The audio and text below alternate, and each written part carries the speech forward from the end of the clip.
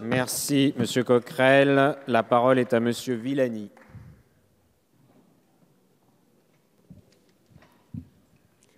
Merci, Monsieur le Président, Madame la Ministre, chers collègues.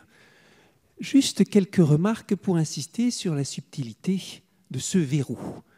On entend dire ici et là que les choses sont simples. Dès qu'on se met à le travailler un petit peu, on voit à quel point c'est complexe. On a parlé d'atteinte à la séparation des pouvoirs. Cela a été examiné par le Conseil constitutionnel, décision de 2016, dans un avis fort délicat qui a fait appel à des auditions en bonne et due forme, une référence à la jurisprudence et se concentrant sur un bout de phrase de quatre mots, à peine d'irrecevabilité. Bout de phrase que le Sénat a d'ailleurs proposé de supprimer sans qu'une étude particulière de l'impact de cette suppression ait été faite. On a parlé d'efficacité. Il y a eu des batailles de chiffres. Et en commission des lois, nous avons vu d'un échange de vues fort divergentes sur ce sujet entre des collègues respectés, M. Warsman d'un côté, M. de Courson d'autre part et Mme Wisniewski aussi. Et puis nous avons entendu tout à l'heure l'avis du rapporteur général du budget. Et permettez-moi de supposer que ce n'est pas si simple que cela.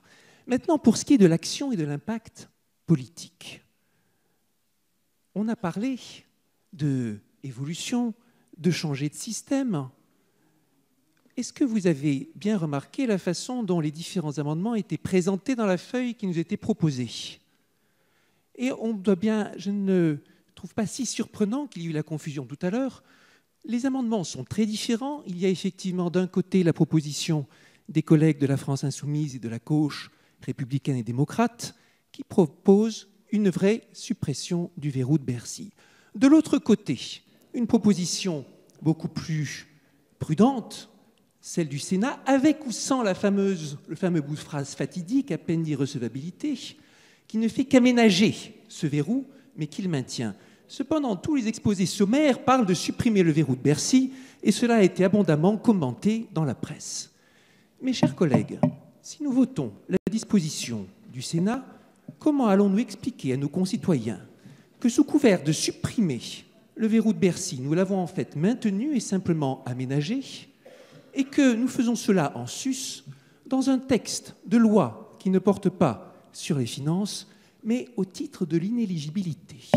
Je pense qu'il y a lieu de soutenir la position de la Commission, la position de mettre en place une commission et d'être éclairé. Je vous remercie. Merci, Monsieur Villani. Je crois que l'Assemblée a été largement éclairée sur ce débat. Nous allons donc